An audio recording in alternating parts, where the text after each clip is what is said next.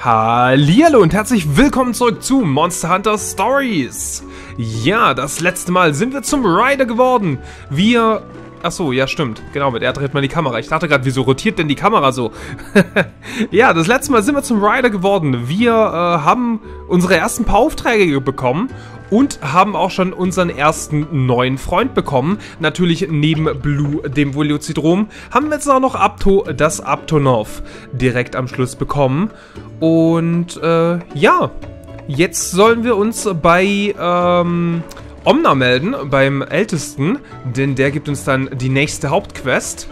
Und wir haben noch jede Menge Quests zu erledigen, beziehungsweise natürlich auch noch jede Menge Quests abzugeben, zumindest ein paar davon.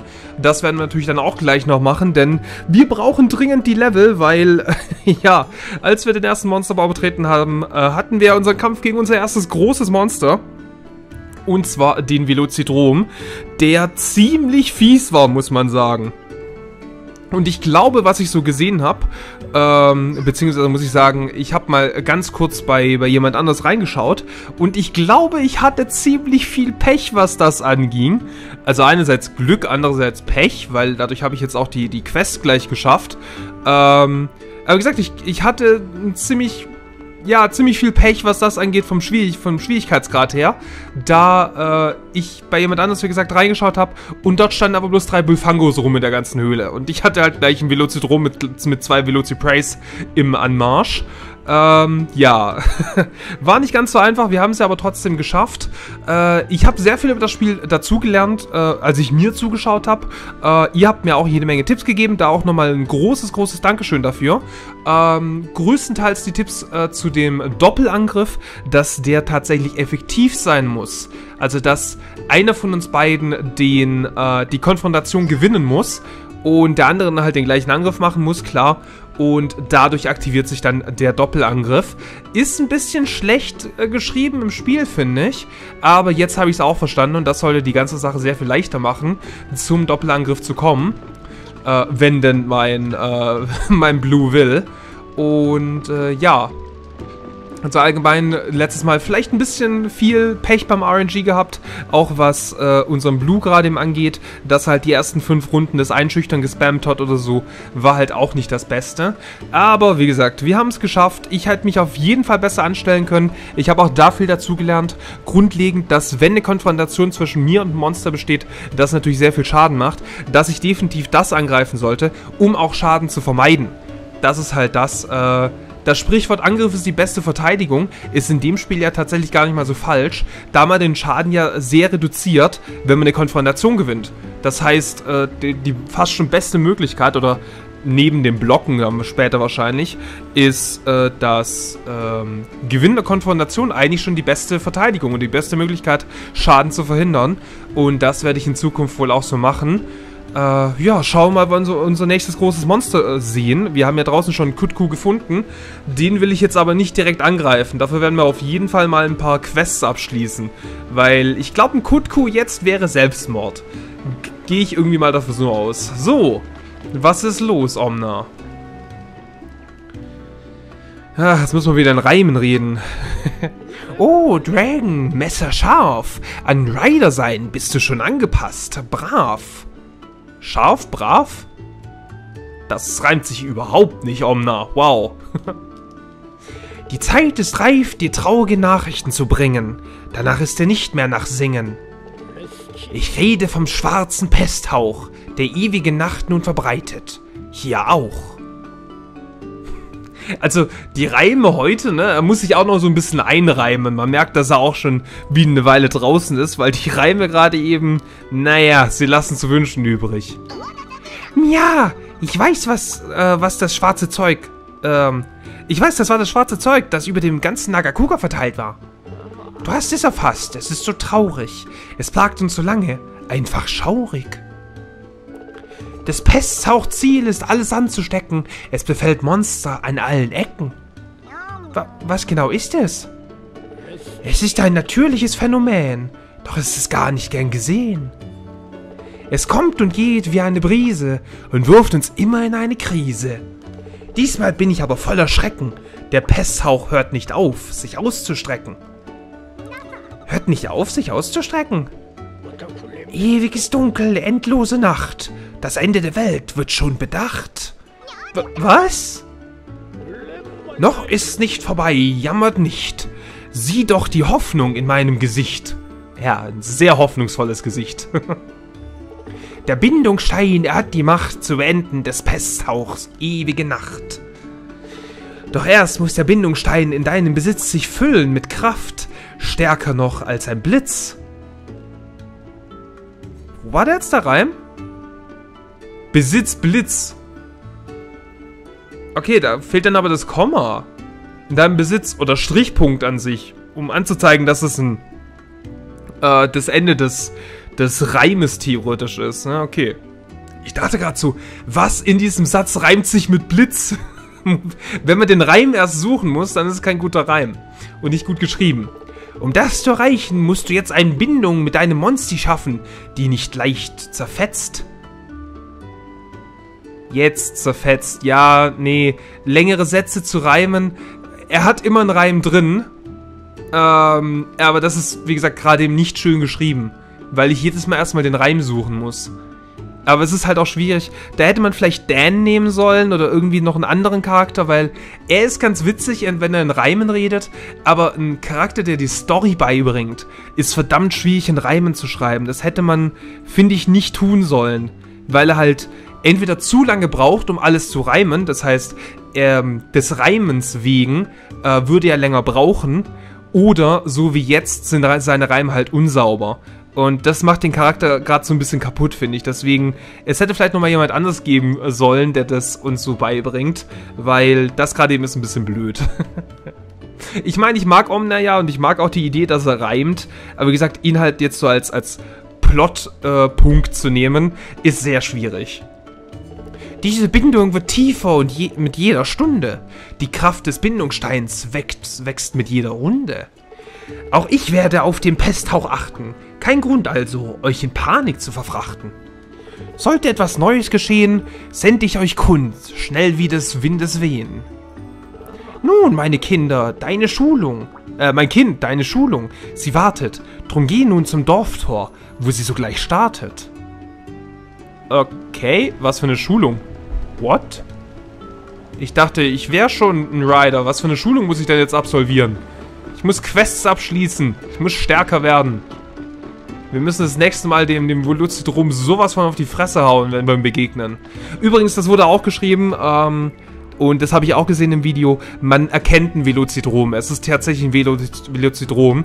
Das war halt bloß so blöd, ähm, ich habe das Vieh nicht kommen sehen. Es kam so blöd von der Seite an und ich habe da nicht wirklich drauf geachtet. Ich war fast schon, ich war zu überrascht von dem Angriff, äh, als dass ich gesehen hätte, dass es ein Velocitrom ist. Aber in der Aufnahme habe ich es dann auch gesehen. Also sie unterscheiden sich schon und das ist sehr gut, weil jedes Mal Panik zu haben, dass vielleicht ein Velocitrom dabei sein könnte, wäre ein bisschen uncool. Na gut, denn was gibt's? Bist du mit deiner Unterhaltung mit dem Ältesten fertig? Dann zurück an die Arbeit. Als nächstes musst du fünf Tränke erlangen. Ah. Sie in den Läden kaufen? das wäre eine Frechheit. Da wird es seine Lektion nicht lernen. Nein, nein, nein. Du wirst alles über das Kombinieren lernen, Kind. Ah, ich dachte schon, es gibt kein Kombinieren hier. Und wenn wir dabei sind, über das Kombinieren zu reden, müssen wir auch über Rezepte reden. Ach so, wenn wir dabei sind, über das Kombinieren zu reden. Ja, okay. Ist da das Komma sinnvoll? Wenn wir dabei sind, über das Kombinieren zu reden. Nee, das Komma ist falsch, oder? Ist vielleicht aus dem Englischen noch übernommen, aber ich glaube, das Komma ist falsch. Weil ansonsten ist es genauso, wie ich es gerade eben gesagt habe. Und wenn wir dabei sind, über das Kombinieren zu reden, müssen wir über Rezepte reden. Und das macht keinen Sinn. Äh, gut, egal. ich mache mich hier über die Grammatik, äh, oder ich, ich beschäftige mich hier mehr mit, mit, der Grammatik als mit dem Spiel, meine Güte. Hier ist das Rezept für Tränke. Geh und besorge die Materialien, die wir dafür benötigen werden. Wenn du Materialien hast, wähle Kombinieren im Camp-Menü. Du wirst jedes Objekt, das du für ein Rezept hast, herstellen können. Nice, Einfängerset. Meine erste Combo. Dein Rider Trading hat gerade erst begonnen. Heutige Lektion Kombinieren für Anfänger. Wähle Kombinieren vom Camp-Menü und stelle 5 Tränke her. Tränke werden aus blauen Pilzen und Kräutern gebraut. Hast du nicht genug? Hol der Pontrigüngel. Wird gemacht. Kombinieren. Wähle Kombinieren im Camp-Menü, um verschiedene Objekte zu vermischen und um etwas Neues zu erschaffen. Bevor ein Combo-Objekt hergestellt, äh, her, her, hergestellt werden kann, brauchst du ein Combo-Rezept. Dieses kannst du durch Abschließen von Nebenquests erhalten. Ah, mehr Möglichkeiten, äh, Sachen aus Nebenquests zu bekommen. Okay, was willst du denn jetzt? Gelb? Dan? Fünf Tränke, hörst du? Gib Bescheid, sobald du fertig kombiniert hast. Kombiniere ein Kraut und ein Blaupilz, um einen Trank herzustellen, Kind. Wenn dir die nötigen Materialien fehlen, suche in den Pondri-Hügeln. Ich finde es aber so schön, wie, wie das Kind noch reingehauen hat. So, ja, ich bin ein Kind, ist gut. okay, kombinieren. Na, also. Trank Rohfleisch Sushi Rezept. Ah, rohes Fleisch und Reiskäfer. Nice. da war eine Verwendung für den Reiskäfer. Proteinreiches Monstermal. Hilft am Monster ja ein wenig zu wachsen. Was ist dieses Wachstum? Das ist ja auch Wachstum normal. Haben wir bisher auch noch nicht rausgefunden. Na gut, Trank. Wir haben definitiv genügend. Stellt 100 TP eines Gruppenmitglieds wieder her. Na gut, das ist noch ein bisschen früh. Aber wir stellen mal 5 Tränke her. Oh, Menge... Ach, das ist ja cool. Okay, ja, 5. Sehr schön. Damit haben wir die nächste Hauptquest abgeschlossen. Das war nicht schwer. das können nicht jede, jede Hauptquest so einfach sein? Nee, dann wäre es ja langweilig. So, Dan. Oh, super! Du hast fünf Tränke. Gute Arbeit, Kind. Nun bist du einen Schritt näher dran, ein erstklassiger Rider zu sein. Yay, ich habe sehr viel gelernt heute. Vergiss nicht, deine hergestellten Tränke in deinen Kampfbeutel zu packen. Das ist eine grundlegende Sache für einen Rider. Na schön, das hier wird dein letzter Test sein. Der Älteste wird dir die Aufgabe selbst geben. Also, zieh los! Sobald du diese Prüfung bestanden hast, bist du fertig und ein echter Rider. Wie gesagt, ich dachte, ich wäre ein echter Rider, als ich meinen Bindungsstein bekommen habe. So, das ist aber eine gute Sache, der Kampfbeutel. Kampfbeutel bearbeiten, weil da haben wir bloß Kraut drin. Da würde ich natürlich ganz gerne noch einen Trank reinhauen. Ah, 5 von 10. Okay, wir können 10 Tränke haben. Äh, Lebenspulver, Medizin aus zerriebenen Kräutern. Stellt 50 TP für, das, für die gesamte Gruppe wieder her. Das ist natürlich auch sehr cool. Packe ich auch einfach mal rein. Schadet ja nicht. Hier schadet es ja definitiv nicht. Äh, blutiges Steak. Leicht gegrilltes Fleisch stellt im Kampf 80 TP wieder her. Oh, okay. Samen erhöht Verteidigung für ein Gruppenmitglied für eine Runde. Ach, das ist so blöd. Medizin erhöht Verteidigung eines Gruppenmitglieds für drei Runden. Hm, schade, ich dachte für immer. Gibt 50% Chance, nächste Runde einen kritischen Treffer auszuteilen. Aha. Sprengsatz. Explodiert mit einem grellen Licht, kann feine Blendung zusetzen. Winziges, mickriges Stück Geröll. Fügt einen Punkt Schaden zu. Yay. Fügt 15 Punkte Schaden zu. Das ist gar nicht mal schlecht, muss man sagen. Was waren die Aloe-Blätter? Besänftigendes Kraut kann Verbrennung. Ah ja, bitte. Verbrennung ist eigentlich auch nie verkehrt. Und solange ich ja noch Platz habe in meinem Kampfbeutel, kann ich da mal solche Sachen reinpacken. Äh, ja. Vor allem, wenn wir uns dann irgendwann gegen eine Kutku prügeln, wird Verbrennung bestimmt eine, eine fiese Sache sein. Na gut, gehen wir wieder zu Omna. Das waren wir ja schon lange nicht mehr. Und holen uns unsere letzte Prüfung ab.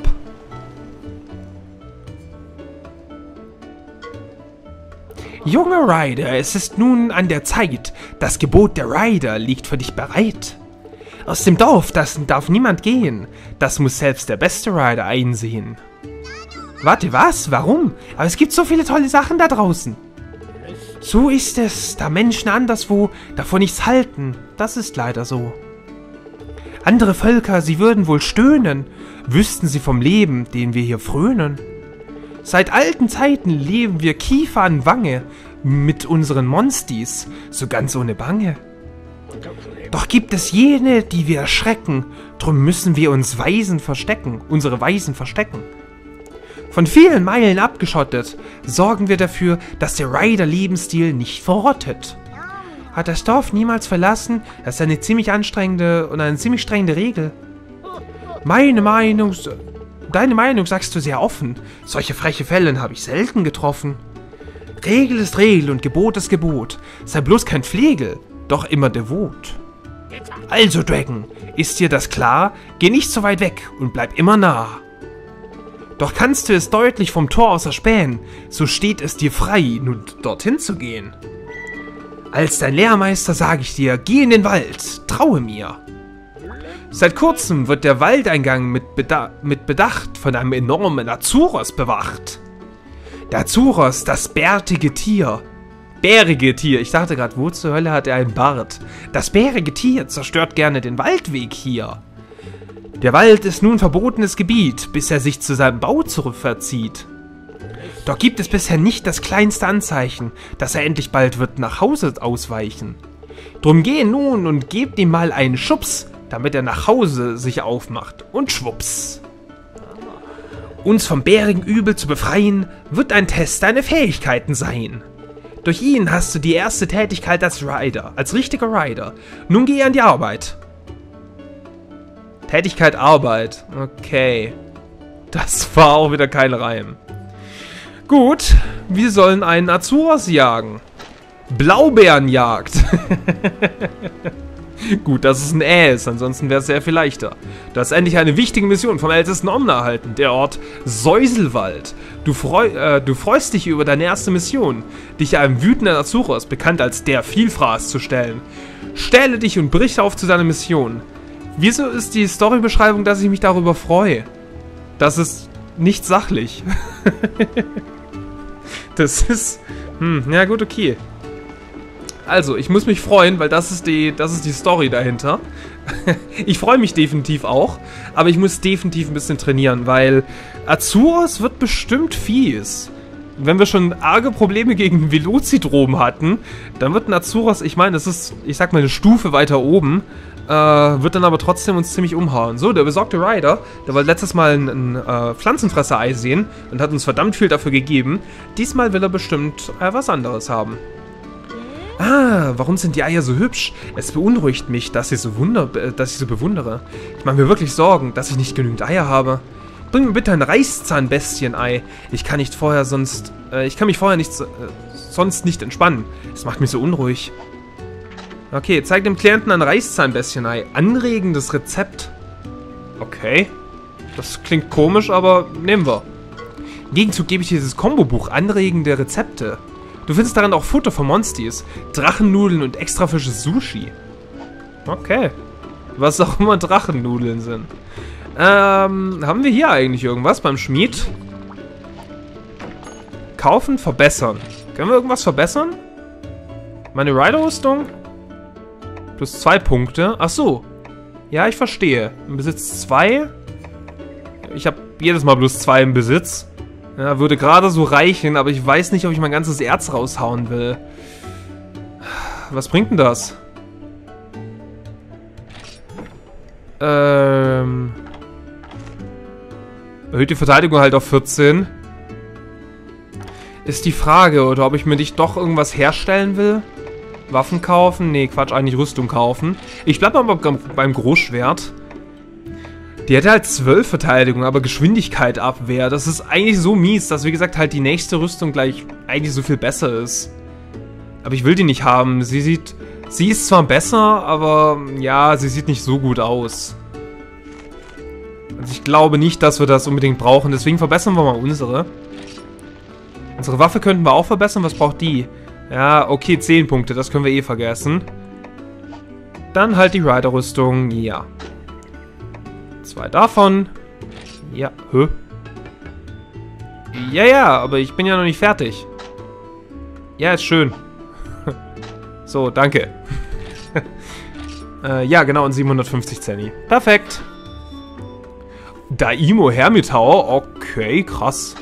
Rider-Rüstung auf Stufe 2 verbessert. Nice. Gibt das denn irgendwas? Oh, Verteidigung 28. Ja gut, es gibt also schon einiges. Ähm... Du machst dann einfach auch nochmal deutlich mehr Schaden. Okay, gut. Lassen wir das erstmal so. Ich dachte jetzt vielleicht, dass wir uns schon eine Velocidrom-Rüstung machen können, weil wir den ja schon platt gemacht haben. Aber scheinbar nicht. Na gut, äh, wir haben die Quest geholt. Können wir irgendeine Quest von den Leuten abschließen? Ich bin mir gar nicht sicher. Ich weiß, dass wir eine Eisenerz-Quest haben. Aber, naja, die haben wir jetzt gerade auch so ein bisschen... Also nicht, dass wir nicht genügend... Also wir hatten ja auch nicht genügend Eisenerz. Aber jetzt haben wir unseren Fortschritt dann natürlich auch wieder komplett gekillt. Aber wir haben auf jeden Fall ein, zwei Quests am Questbrett. Auch die Veloci... Haben wir die schon abgegeben oder nicht? Normale Nebenquests. Äh, einreichen. Blaue Bedrohung. Genau. Ja, Und Abto bekommt sogar Erfahrungspunkte. Das ist richtig gut. Weil dann, das war richtig gut, dass wir die erst jetzt abgegeben haben. Weil es levelt halt Abto sowas von gut auf. weil er halt gleich die ganzen Erfahrungspunkte bekommt. Nice. Wie er gleich Stufe 4 ist. Wow, okay, beinahe. Sprengsatz explodiert mit dichter Rauchwolke für die Flucht von normalen Kämpfen. Oh, nice. Nehme ich. Okay, die ist fertig. Was heißt das jetzt? Möchte ich fest annehmen? Nee. Achso, das heißt aber bloß, dass sie fertig ist. Wobei, wieso nicht? Ich meine, Velociprice werden wir immer mal wieder begegnen. Okay. Ja, das ist eigentlich kein, kein großes Problem. So Aloe-Blätter, ja, dann haben wir die halt nicht mehr, aber egal, ja. Gibt bloß ein paar Kräuter, aber ich will halt die Erfahrungspunkte auch haben. Und wir bekommen, ja, wir bekommen Kräuter, ja klar. Okay, du bist fertig, durch brauchen wir an sich nicht mehr, weil die Aloe-Blätter sind eigentlich auch ganz cool. Farbbeeren brauchen wir, denke ich, auch nicht, ja. Gibt auch nochmal zwei Kräuter. Ach, das gibt auch gar keine Erfahrungspunkte, wie mies. Gibt bloß ein paar Zenny, okay. Ideale Vorbereitung, liefere bestimmte Knochenmaterialien, okay. Ein Trank.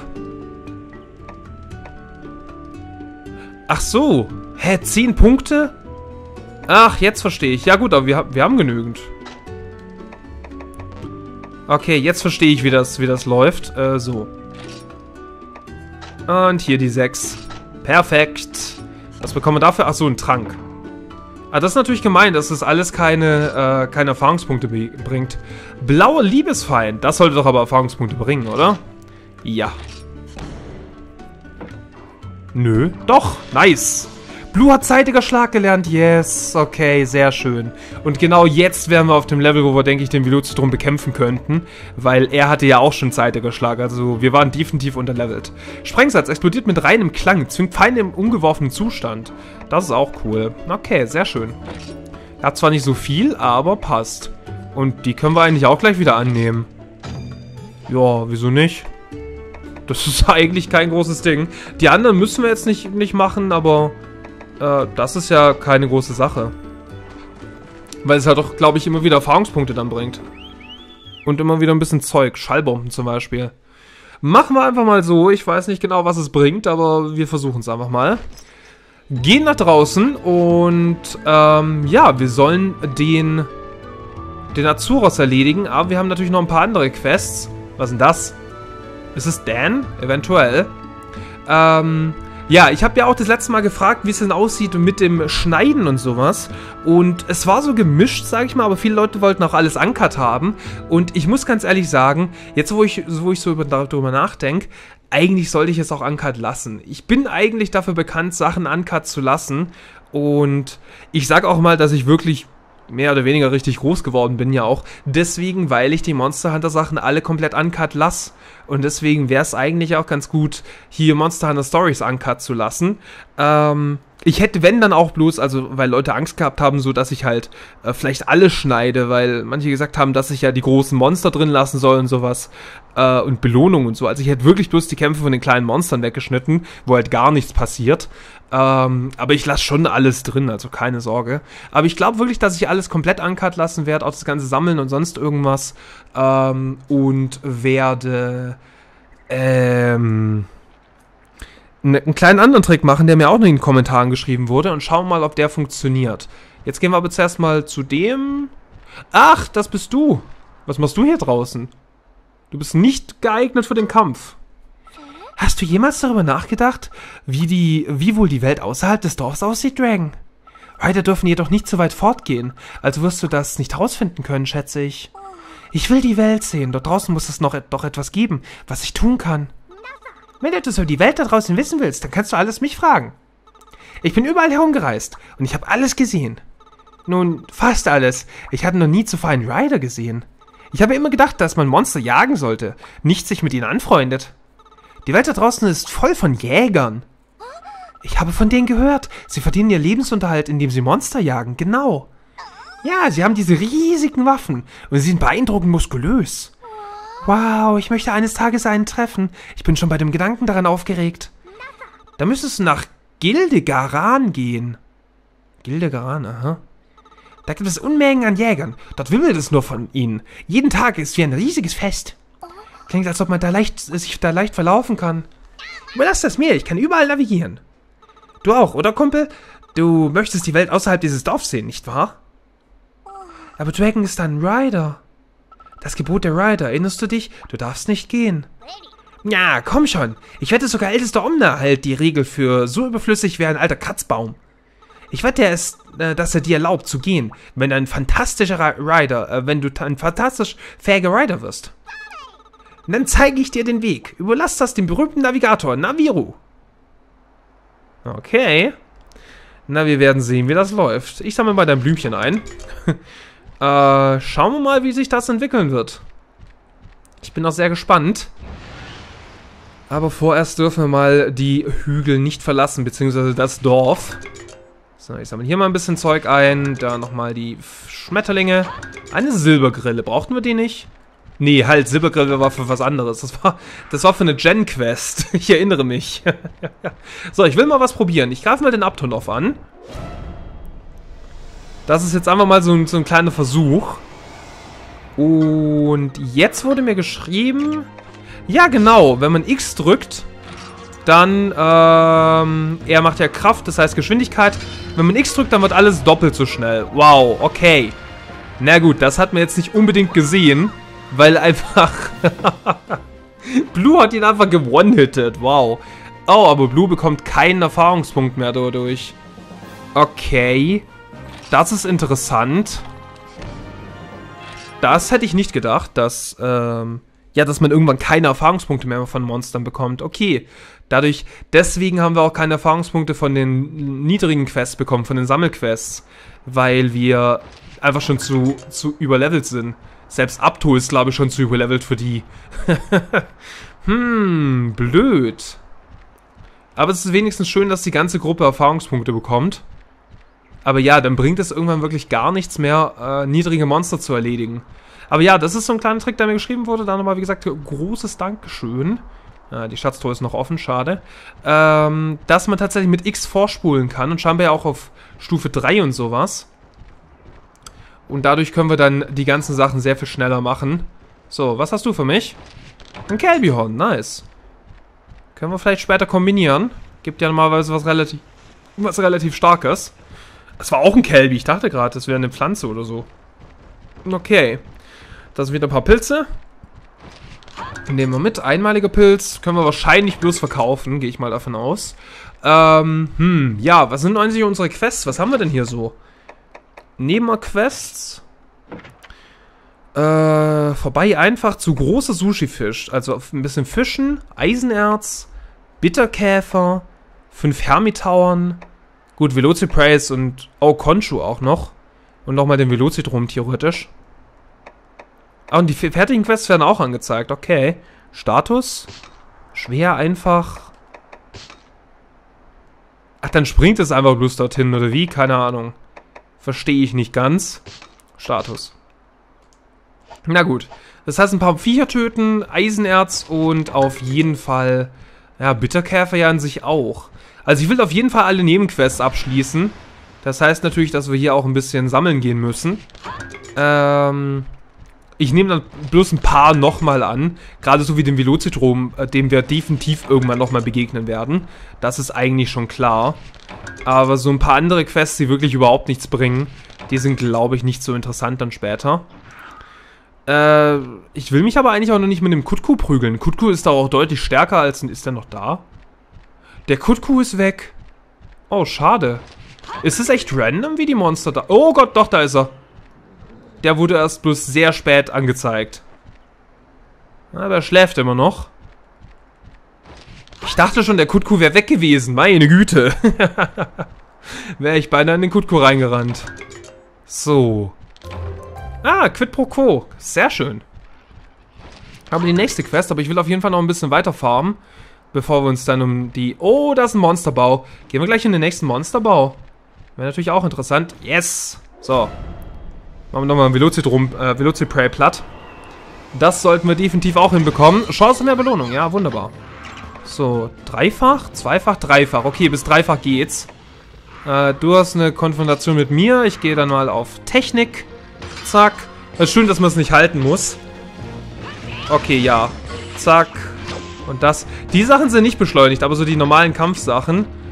Äh, die gehen beide auf dich, wie gemein. Ja gut, Geschwindigkeit. Ich gehe weiterhin auf Technik.